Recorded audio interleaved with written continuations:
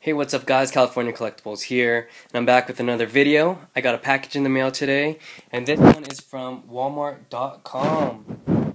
Um, I saw some things on the Walmart website uh, that were kind of hard to get in my area, and also some things, some new things that I haven't even seen at all. And I was really surprised that no one has um, picked these up yet, or I haven't seen videos of them, so I ordered them um, fairly quickly. I spent a lot of money, but it's it's all right.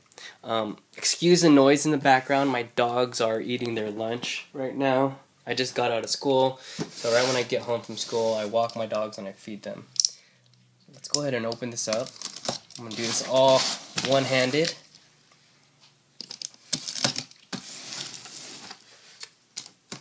And let's see what we got inside.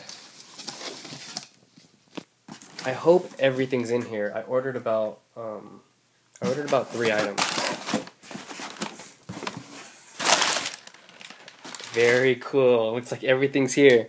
So first off, as you guys could see, it's the Miles Morales Ultimate Spider-Man. I haven't seen this in stores at all. And this was um, the only one that I actually wanted when it came out to all these all three of these figures. They had this figure, um, the normal Ultimate Spider or Amazing Spider-Man, and the Lizard figure, which I didn't like at all. But they did have a new figure that was just released as a Walmart exclusive. The um, the mask masked off version. Interchangeable heads. Well, that's pretty cool. I didn't. I thought it was just a mask. It's actually interchangeable heads.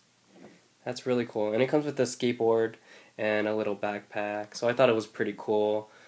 Um, still gonna debate if I like it or not. But check that out. Pretty cool. I'm just gonna double check the articulation. Yeah, it looks like it's the same articulation that the other figure has. But this one's just cool because you change out the heads.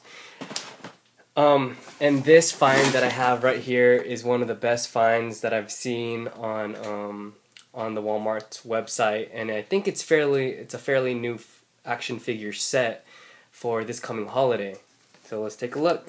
We got the Amazing Spider-Man Ultimate Gift Set. It has a translucent Spider-Man right there, which is pretty cool. I'm just gonna look at it real quick. They're uh, limited in articulation. There's no ankle articulation or anything, but he looks really cool. Um, Hobgoblin, he's also translucent. It's pretty cool sculpt. Not too bad. He's always nice to have. But these two figures I'm going to show you right now are the main reason why I picked this setup.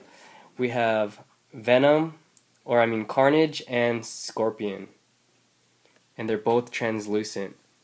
This um, Carnage figure is fairly hard to get um, when it comes to the single carded, um, not translucent version, just like the single carded one. And same thing with Scorpion.